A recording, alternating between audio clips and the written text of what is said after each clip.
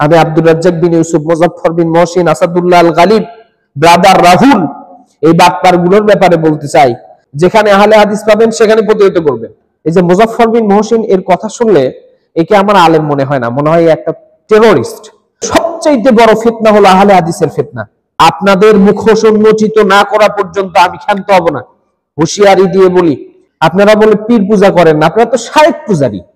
ইহুদি এবং নাসারাদেরকে খুশি করাই হলো আপনাদের মূল লক্ষ্য, কারণ সেখান থেকে তো মোটা অঙ্কের ডলার আপনাদের অ্যাকাউন্টে আসে। আসসালামু আলাইকুম রহমতুল্লাহ। ইন্নাল হামদুলিল্লাহ, আসসালাতু আসসালামু আলা রাসূলিল্লাহ। প্রিয় ভাইরা, আহলে হাদিস নামে একটা শব্দ আমরা প্রায়ই শুনি, এবং এটা একটা আলাদা সম্প্রদায়। আমি এদেরকে মুসলমান মনে করি না, কারণ মুসলমানের পরিচয় একমাত্র মুসলিমই হবে, কিন্তু তারা নিজেদেরকে আহলে হাদিস দাবি করে। আহলে হাদিস শব্দের অর্থ কি? আহল শব্দের অর্থ পরিবার, হাদিস অর্থ বাণী, কথা।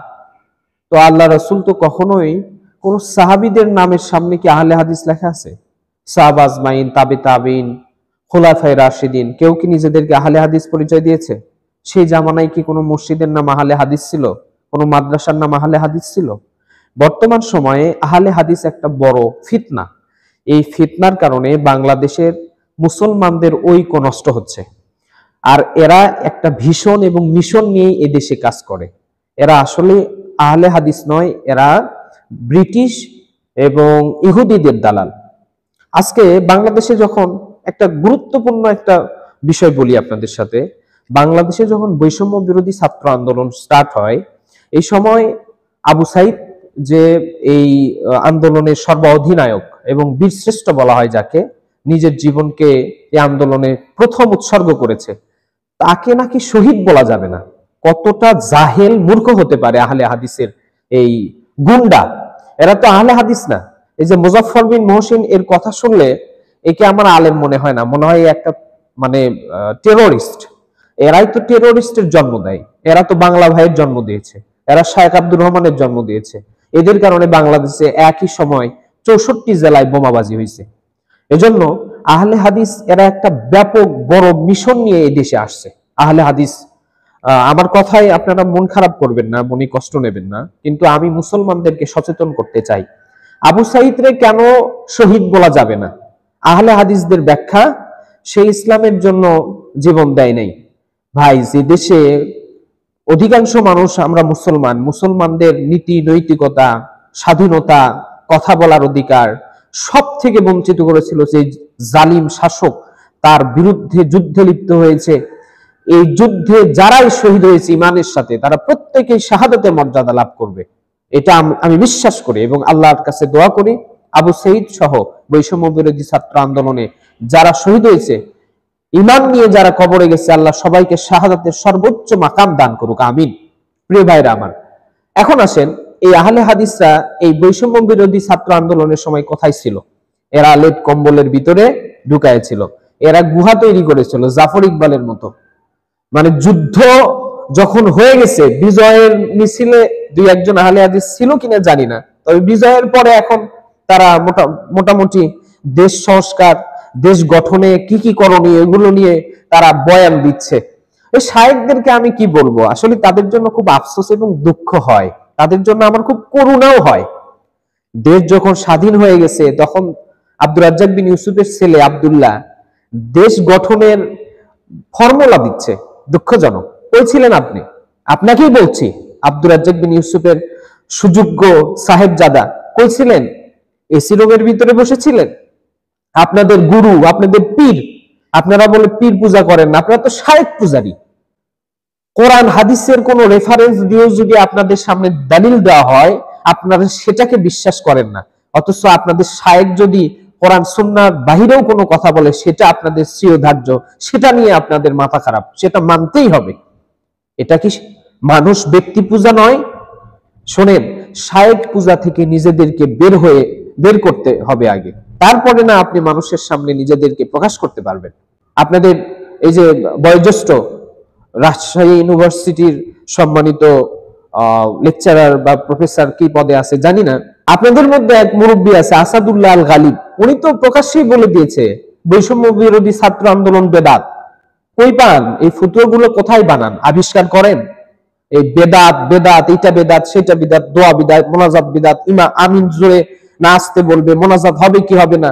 এগুলো গন্ডির ভিতরের যে মাসলা মাসাইল যেটা বেদাত বলেন যে রাষ্ট্র যে সমাজ বেদাত লালন করে, এই বেদাতের বিপক্ষে একটা কথা বলতে পারেন না। হাজার হাজার আলেমদেরকে আয়না ঘরে বন্দি করে রেখেছিল। হাজার হাজার আলেমদের উপর নির্যাতন, নিপীড়নের স্টিম রোলার চালিয়েছে এই জালিম শাসক। কইছিল আপনাদের বেদাত ফতুয়া?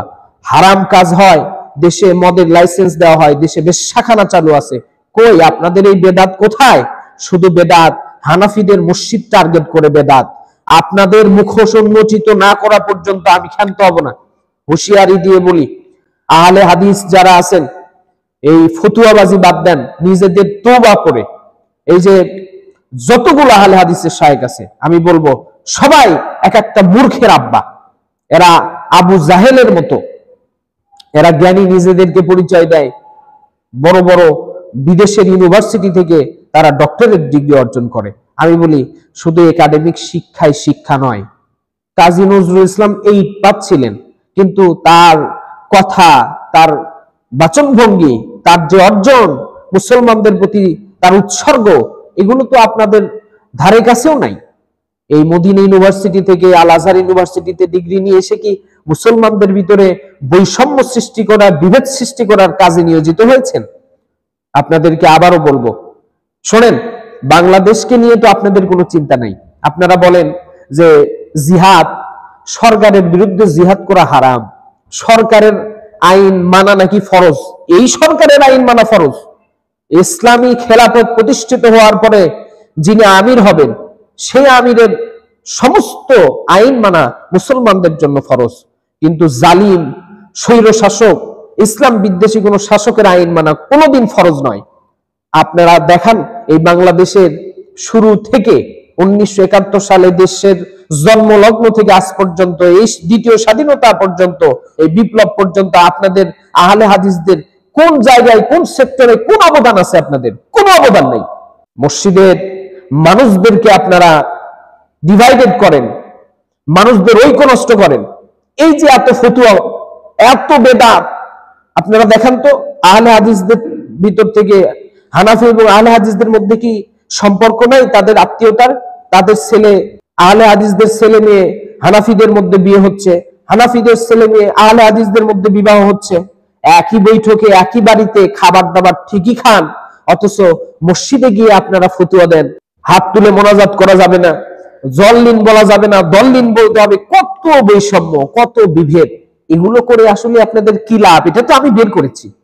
আমি গবেষণা করে এটা বের করেছি। আপনাদের লাভ একটাই আপনারা খুশি আল্লাহকে এবং রাসূলকে নয়, আপনারা খুশি করতে চান ইহুদি নাসারাদের।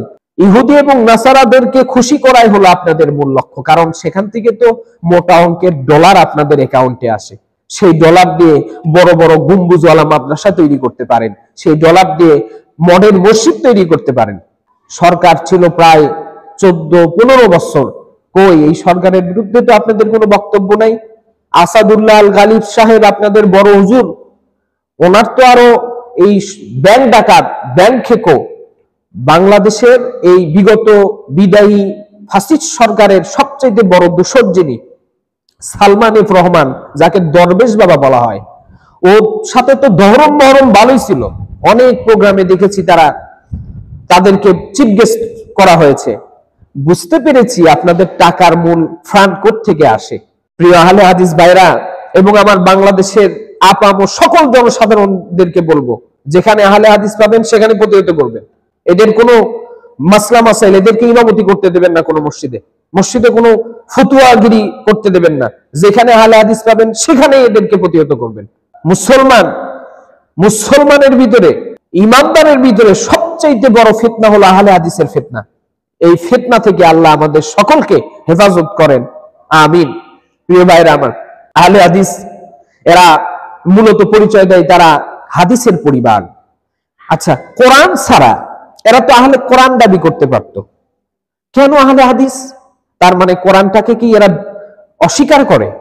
এদেরকে প্রশ্ন ছুড়ে দিলাম আমি, কোরআনকে অস্বীকার করেন? আহলে হাদিস পরিচয় মুসলমানের পরিচয় হতে পারে না, নিজেদের পরিচয় আগে পরিবর্তন করেন। কিছুদিন পর তো আপনারা বললেন যে আপনারা নাকি সহি আকিদা, এরপরে যে আবার কোন নাম চলে আসবে আমাদের মাঝে। আমরা তো এই জন্য আশঙ্কায় থাকি। আপনাদের নাম মানে আপনাদের তো আর খাতনা করতে হয় না বা আকিকাও দেওয়া হয় না যে নাম পরিবর্তনে একটু কষ্ট হয়। ইদানিং যখন যেটা ইচ্ছা তখন সেটাই আপনাদের পরিচয় হয়ে যায়। প্রিয় আহলে হাদিস ভাইরা, নিজেদের আহলে হাদিস পরিচয় দিতে একটু লজ্জাবোধ করা উচিত আপনাদের। আল্লাহ যেখানে পরিচয় দিয়েছেন, আমরা মুসলমান, আমরা কালেমার ভাই, একে অপরের ভাই, আমাদের আমাদের ভিতরে কেন বিভেদ থাকবে? আপনি মাসলাগত দিক থেকে সমস্যার মধ্যে বিভিন্ন মানুষ বিভিন্ন মত পার্থক্য এটা থাকতেই পারে, এটা একটা সৌন্দর্য। কিন্তু আপনি এটা দিয়ে ডিভাইডেড তৈরি করে মানুষদের ভিতরে আপনারাই শ্রেষ্ঠ, আপনার, আপনাদের কোনো তুলনা নাই, এগুলো বলে আপনারা বড় বড় হক্কানি আলেমদের বিরোধিতা করেছেন, বড় বড় হক্কানি ওলামা হজরতদের সাথে বেয়াদবি করেছেন, এই চরম বেয়াদবি এটা কি বুঝায়? আপনারা আহলে হাদিস, আপনারাই হক। প্রিয় ভাইরা এগুলো থেকে দূরে থাকেন। আমি আজকে প্রাথমিকভাবে আপনাদেরকে যেটা বলতে এসেছি, বাংলাদেশে এক বিশাল ইসলামের বিজয় মিছিল শুরু হয়ে গেছে। এই মিছিলে যদি সামিল নিজেকে করতে না পারেন, চুপ করে বসে থাকেন। আপনারাও তো আওয়ামী লীগের দোষর। আওয়ামী লীগকে পরিপূর্ণভাবে সাপোর্ট করে চোদ্দ পনেরো বছর আপনাদের কোনো নেতাকর্মী তো জেলখানে যায় নাই। আপনাদের আহলে হাদিসের কোনো শায়েককে তো একদিনও জেল খাটতে হয় নাই। আপনাদের শায়েকদের কোনোদিন, কোনো শায়েক কায়না ঘরে থাকতে হয় নাই। আপনাদের কোনো এই যে যুব আন্দোলন না কি কি আছে আপনাদের ভিতরে? কোন আন্দোলনে এই যে বৈষম্য বিরোধী ছাত্র আন্দোলনে ছাত্র জনতা যেভাবে গুলির মুখে জীবনকে বিলিয়ে দিয়েছে, আপনাদের আহলে হাদিসের কয়জন মানুষ মারা গেছে দেখেন তো? ভাই, মিলাদ হয়ে যাওয়ার পরে জিলাপি খাইতে মসজিদের মানুষও আসে অনেকে নামাজ না পড়া রাস্তা থেকেও চলে আসে, যে জিলাপি দিচ্ছে একটু যায়, দুই একটা জিলাপি আমিও নিয়ে আসি। তো আপনারা হলো এই জিলাপি খোর ঠিক আছে? আপনারা মিলাদ না কইরা, দোয়া না করে জিলাপি খাইতে যে মজা, আপনারা সেই মজা নিতে আসছেন। আজ দেশ স্বাধীন, আর স্বাধীনতার পক্ষে ব্যাপক গুরুত্বপূর্ণ বয়ান দিচ্ছেন। আমি আব্দুর রাজ্জাক বিন ইউসুফ, মুজাফফর বিন মহসিন, আসাদুল্লাহ আল গালিব, ব্রাদার রাহুল, এই গুলোর ব্যাপারে বলতে চাই যে আপনারা আর কত বাটপারি করবেন এই জাতির কাছে। ইসলাম নিয়ে আর কত ছলনা করবেন? মুসলমানদেরকে আর কত বিভাজন সৃষ্টি করে দেবেন? খবরদার, আপনারা এখনও নিজেদেরকে সতর্ক করেন।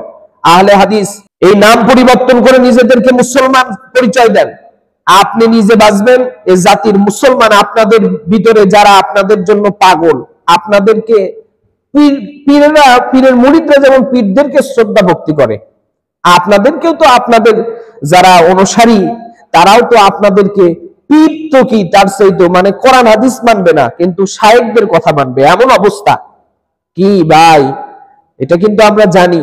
অতএব প্রিয় সাহেবগণ আপনাদেরকে অনুরোধ করছি, বের হয়ে আসেন এই গন্ডি থেকে। নিজেদেরকে উজাড় করে দেন, নিজেদেরকে উদার করে দেন। উদারতা দেখান। এই ফিতনা আর সরায়েন না। বাংলাদেশের মুসলমান আজ ঐক্যবদ্ধ। এদেশে ইসলামী ঝান্ডা প্রতিষ্ঠিত হবে, কালেমার রাজ কায়েম হবে, কোরআনের আইন বাস্তবায়িত হবে। এই মিছিলে নিজেদেরকে সামিল করতে যদি না পারেন, তারপরেও বলব, আহলে হাদিস যদি এই আন্দোলনে নাও আসে, তাও মুসলমানের বিজয় কেউ আটকে রাখতে পারবে না। তবে আপনারা ব্যর্থ হবেন। আর যদি এই সফলতায় নিজেদের অবদান রাখতে চান, তাহলে আসেন সব ভেদাভেদ ভুলে। সব মতানৈক্য ভুলে এই বেদাতের নামে গন্ধ না সুরায়া আসেন। মুসলমানদের বৃহৎ ঐক্যের সাথে হাত বাড়িয়ে দিয়ে এদেশে ইসলামী ঝান্ডা এক অদ্বিতীয় মহান রবের ইসলামী আইন বাস্তবায়নের ক্ষেত্রে যার যেখান থেকে যতটুকু সম্ভব সহযোগিতা করার এই সহযোগিতার হাত বাড়িয়ে দিয়ে বাংলাদেশের আকাশে ইসলামী পতাকা কত পত করে উড়ানোর স্বপ্ন বাস্তবায়িত করি, আল্লাহ পাক আমাদের সবাইকে ঐক্যবদ্ধ হয়ে এই জাতিকে, এই দেশকে, এই রাষ্ট্রকে, এই সার্বভৌমত্বটাকে রক্ষা করার তৌফিক দান করুক। আমা আলাইনা ইল্লাল বালাগ। আসসালামু আলাইকুম ওয়া রাহমাতুল্লাহি বারাকাতুহু।